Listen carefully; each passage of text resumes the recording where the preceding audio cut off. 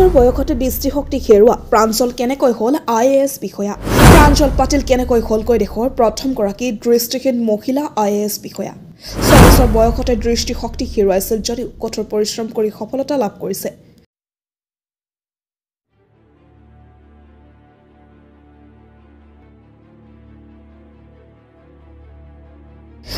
পাটিলৰ সফলতা এতিয়া বহুতৰ বাবে অনুপ্ৰেৰণা। সফলতাৰ গল্প নপঢ়িবা কাৰণ তাৰ পৰা মাথো তুমি বাৰ্তা পাবা। ব্যৰ্থতাৰ গল্প পঢ়া তেতিয়াহে সফল হোৱাৰ কিছু ধাৰণা পাবা। সফলতাৰ গল্প কোনোদিন নপঢ়াৰ বাবেই অৱশেষত তেওঁ দুৱাৰদলিত ভৰি থলেহি সফলতাই। সমস্যা কোনোদিন জীৱনৰ ওপৰত প্ৰভুত্ব বিস্তাৰ কৰিব নিদিয়াকৈ সমস্যাকে নিশেষ কৰি এতিয়া সমগ্ৰ দেশ তথা বিশ্বৰে চিনাকি নাম হৈ পৰিছে প্ৰাঞ্জল পাটিল। এতিয়া হয়তো আপোনাৰ মনত প্ৰশ্ন উদয় হ'ব পাৰে এই প্ৰাঞ্জল পাটিল কোন?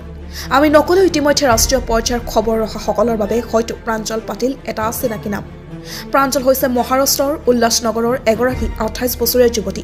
দুহেজাৰ ষোল্ল চনৰ ইউ পি এছ চি পৰীক্ষাত দেশৰ ভিতৰতে সাতশ তেসত্তৰ সংখ্যক স্থান লাভ কৰিছিল প্ৰাঞ্জলে। যোৱা চৈধ্য অক্টোবৰত কেৰালাৰ ৰাজধানী তিৰুৱন্তপুৰমত অতিৰিক্ত উপায়ুক্ত হিচাপে যোগদান কৰিছে প্ৰাঞ্জলে। প্ৰাঞ্জলৰ কথাখিনি ইয়ালৈকে শুনি হয়তো ভাবিছে যে এয়া এক গতানুগতিক খবৰ। কিন্তু আপুনি ভবাৰ দৰে ইমান সৰল আৰু সহজ নহয় প্ৰাঞ্জলৰ জীৱন কাহিনী।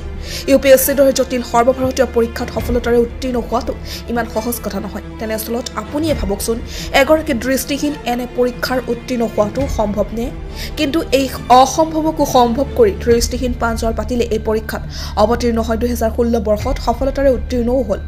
এবাৰ নহয় দুবাৰকৈ সৰ্বভাৰতীয় প্ৰশাসনিক পৰীক্ষাত সফলতাৰে উত্তীৰ্ণ হৈ এতিয়া প্ৰাঞ্জল পাটিল দেশৰ এগৰাকী উচ্চপদস্থ প্ৰশাসনিক বিষয়া। তিৰুৱন্তপুৰমত এ ডি চি হিচাপে যোগদান কৰি প্ৰাঞ্জলে সংবাদ মাধ্যমৰ সন্মুখত ক'লে। জটিল কামতেই বেছি আনন্দ পোৱা যায়। সফলতাৰ আনন্দ লাভ কৰাৰ বাবে মানুহৰ কাম জটিল হোৱা উচিত। জীৱনৰ সকলো জটিলতা প্ৰত্যাহ্বান প্ৰাঞ্জলে সাহসেৰে সন্মুখীন হৈছে। জীৱনৰ প্ৰতি পল অনুপলক গভীৰতাৰে উপলব্ধি কৰিছে। সেয়েহে প্ৰাঞ্জল আজি সুখী হোৱাৰ লগতে সফল।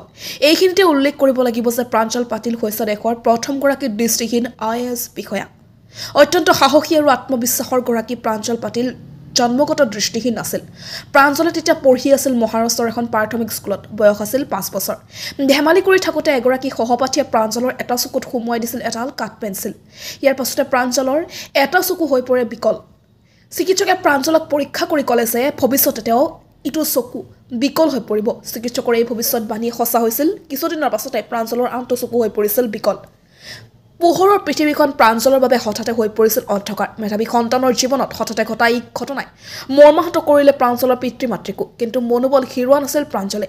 পিতৃ মাতৃয়ে প্ৰাঞ্জলৰ মনোবল দেখি মুম্বাইৰ দাদৰস্থিত অন্ধ বিদ্যালয়ত নামভৰ্তি কৰিলে। দশম আৰু দ্বাদশ শ্ৰেণীৰ পৰীক্ষাত সুখ্যাতিৰে পাছ কৰিলে প্ৰাঞ্জলে। দ্বাদশ শ্ৰেণীৰ পৰীক্ষাত কলেজৰ ভিতৰতে প্ৰথম স্থানো দখল কৰিছিল প্ৰাঞ্জলে। জীৱনৰ জটিলতা ধ্বংস কৰিবলৈ নাহে।